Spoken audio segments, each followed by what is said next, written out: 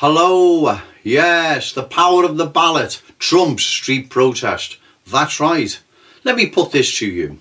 Can anyone remember the other nine hunger strikers that were on a hunger strike with Bobby Sands in the Maze, 1981, Northern Ireland? Can you remember the other nine hunger strikers who also starved themselves to death in the Maze? Can you remember their names?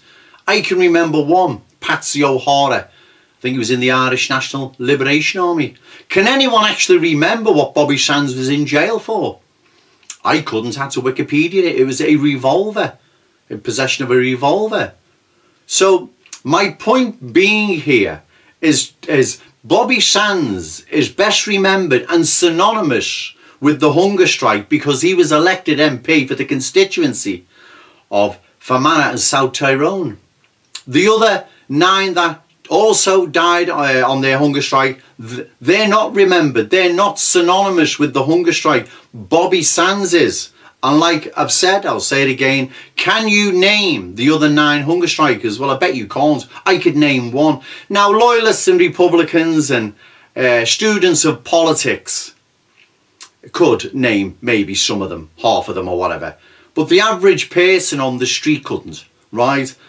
Bobby Sands is the one that's synonymous with the hunger strike of 1981. And that's because he was elected as MP for the constituency of Fermanagh and South Tyrone. The others weren't. And that's the power of the ballot. Also, Bobby Sands being elected propelled the Republican cause sky high. Right? It literally did. Somebody even say was indirectly responsible for the peace process. You see, don't forget, Margaret Thatcher said they're not getting political status because they're common criminals. Well, Bobby Sands being elected then made that look rather silly, didn't it? Because a large section of um, a part of the United Kingdom obviously believed otherwise. So the power of the ballot is what propelled republicanism with Bobby Sands being elected in 1981 to the constituency of Fermanagh and South Tyrone. There was another hunger striker uh, Doe, Dowes, he was elected to uh, a seat somewhere in the Irish Republic. But again, he's not synonymous with the hunger strike. Bobby Sands is, and that's due to being elected as an MP, the power of the ballot once again. Remember the Countryside Alliance, they had a march to try and bring back uh, Fox Hunting to uh, repeal the bill and bring it back. In London, it was about 250,000 on. It was a massive march. Well, what happened? They just ended up getting the skulls cracked by coppers wielding truncheons. Nothing happened, the cause was lost. What they'd have been better doing is finding a constituency in the countryside somewhere where a Tory MP that was anti-hunting, fielding their own candidate against him, someone, let's say, Otis Ferry, and putting all that time, effort and money and people into getting him elected.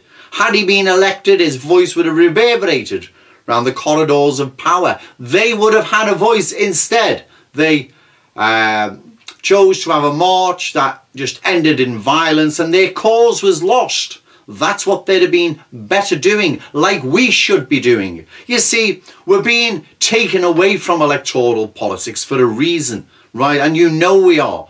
Lauren Southern, as an example, she's going in Muslim no-go areas telling us the no-go areas. We already know the no-go areas.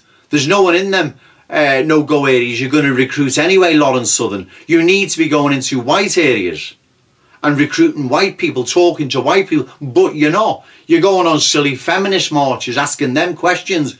Why are you doing that? You need to go to our people, right? Not waste your time in Muslim no-go areas and telling us what we already know. We are wasting our time.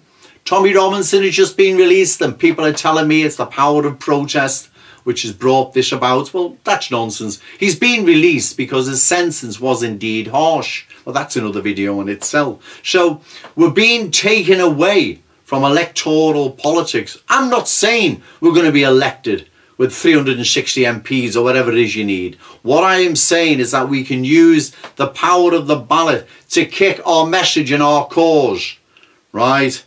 Sky high like Bobby Sands did uh, when he was elected to Fermanagh and South Tyrone. That's what we can do. We can use it to highlight our plight and we can use it to recruit, we can use it to bring our message to millions of people, even getting one councillor and one or one MP elected.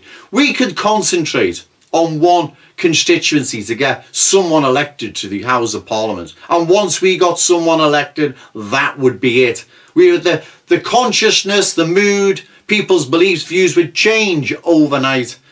And the power of the ballot does indeed trump street protest. Okay, thank